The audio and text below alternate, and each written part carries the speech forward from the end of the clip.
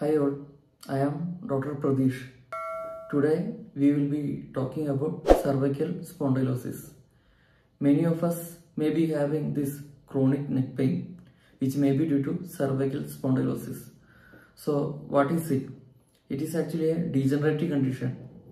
Uh, people with advanced age uh, will be having degenerative process going on in their cervical vertebra or the disc that is in, situated in between these uh, vertebrae and will be having this chronic pain symptoms.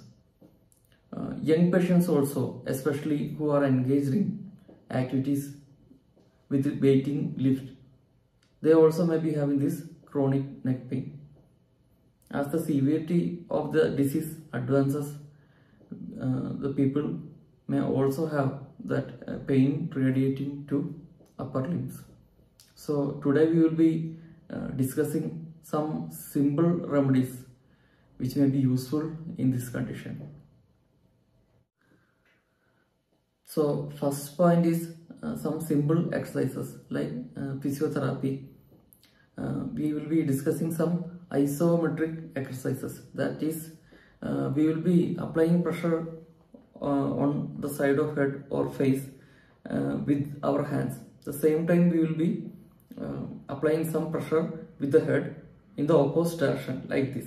With hand we will be applying pressure like this and with the head we will be moving in the opposite direction. So actually uh, the position of the head and neck will not be changing only that uh, pressure is applied.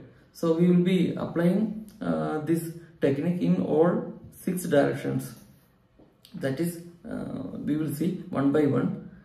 so as a first step we will be applying pressure on the back of head and we will be applying pressure with the head in the opposite direction. So we will do one, two, three, four, five and relax.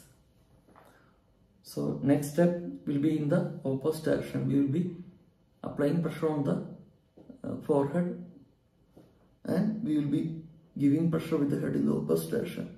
One, two, three, four, five and relax. Then next will be on the side of the head.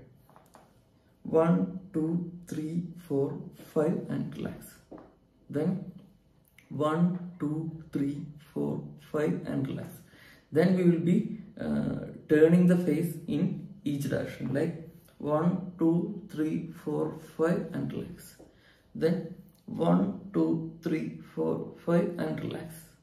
So we see that in each step we will not be actually, uh, actually we will not be moving our head just applying the pressure only.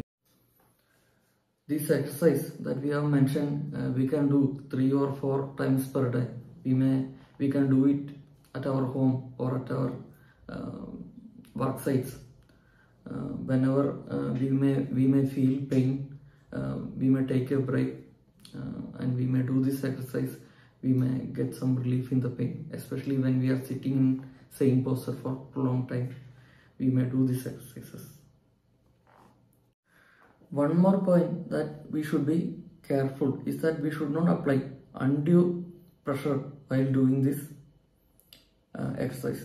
That uh, that is we may be having uh, have pain while doing this exercise so we have to stop then and we may gradually increase the strength of the exercise day by day and one more uh, thing that we can use for this condition is uh, one soft cervical collar. I have added one link for purchasing that sort cervical collar. Uh, we have to select according to our size and we should be removing that collar when we are lying down or sleeping. Some other things that uh, we can do uh, in this condition is that we should avoid um, lifting heavy weights or uh, we have to uh, avoid unwanted travel like that some jerky travel that we may have while riding in an auto rickshaw or two-wheeler uh, that we have to avoid.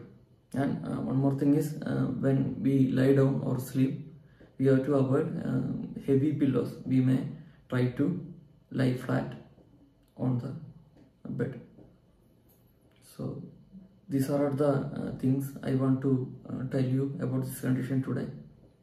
We may uh, see you again in next video.